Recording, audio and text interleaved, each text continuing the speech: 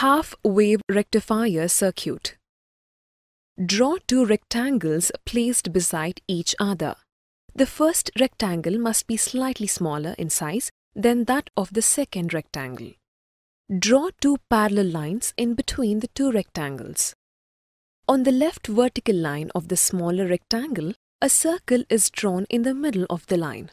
Inside the circle, draw the letter S in a tilted angle. Label it as line voltage from an AC power on the left-hand side of the circle. Rub off the right vertical line of the smaller rectangle and draw a spring connecting the ends of the rectangle. Label the top end of the spring as P1 and the bottom end of the spring as P2.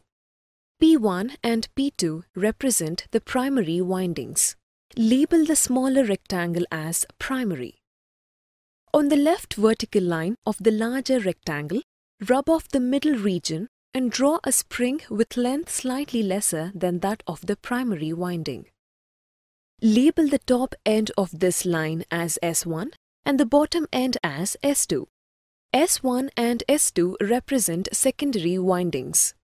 Mark secondary at the center of the larger rectangle.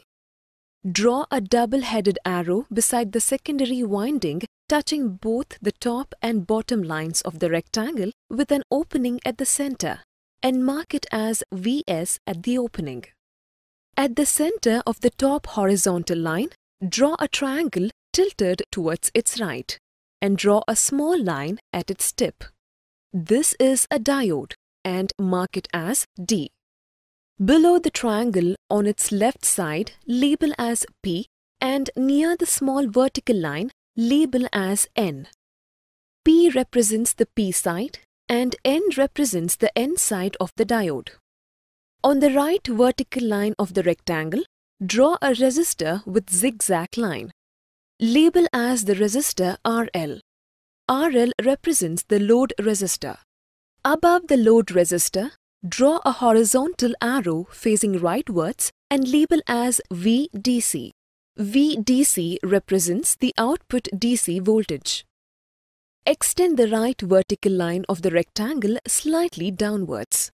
At the end of the extended line, draw four horizontal lines, each smaller than the first drawn line, which represents the grounded circuit.